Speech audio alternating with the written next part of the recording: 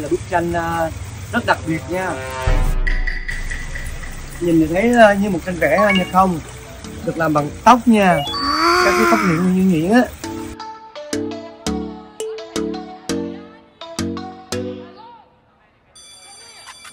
Cái màu thì sao em? Cái màu này là em tóc em nhuộm lên em em, em làm màu. Đấy. tất cả những cái màu này là em nhuộm lên. Hết nhuộm nhuộm tóc xong bắt đầu em cắt nhuộm ra. Nè, đây cái tóc cái tóc dư nó còn còn nè quanh quẩn đó nha con nhìn xem nè đây. Cái tóc rì rì rì rì rì rì nè. Quá trời bột tóc luôn. Đó. Toàn là tóc con không á. Em có chiếc canh Dạ, em thích làm cái này? Em làm tóc hay là là em làm em làm tóc. Làm cái tóc. Em đam mê này làm. Rồi làm nghề tóc mà làm được cái này hả? Có học phải họa sĩ không học gì hết trơn luôn. Ôi đúng là có người xuôi đất kiếm với trời xuôi đất kiếm thì sao nha. Không học à, họa sĩ không biết gì về hội họa hết. Chỉ làm về ngành tóc thôi. Đó. Mà dùng cái tóc bụng á. Dùng cái tóc nhuyễn của mình á. Đó xong đó thành cái cái cái bức tranh của thầy thích bình tuệ. Quá tuyệt vời luôn. Y chang luôn nha.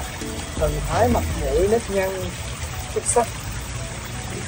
Cảm ơn em rất nhiều. Rồi cái quan trọng nhất là cái mắt á. Ừ. Mắt cười cái bánh xì. Luôn. Đúng dễ sợ luôn Mọi người xem kỹ nè, cái tóc bụi tóc nó vẫn còn nha. Nè. Cái bụi tóc nè. Vẫn còn lên lên lên lên lên rất là nhiều vòng vòng xung quanh đây nè. Này, Tóc không thôi. này thì bao chắc luôn bởi vì tóc của nó thường tồn lâu lắm. À, nó rất là khó phân hủy nên là anh bảo đảm rất là chắc. Nhưng mà em có bôi keo để dán lại giữ dạ đúng rồi em chắc hết rồi nói chung là em đình hình rất là chắc.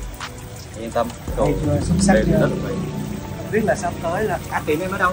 tiền em lên Tân Bình bút chặt hai b từ xong À, tiệm tóc của bạn ở gần đây thôi. Làm cả từ môi từ mày. À, Lần sau anh qua nhờ em cắt tóc nha. Dạ. Rồi, nhắn tin liên lạc với anh cái. Anh quá đẹp đây có ba phút. Ồ,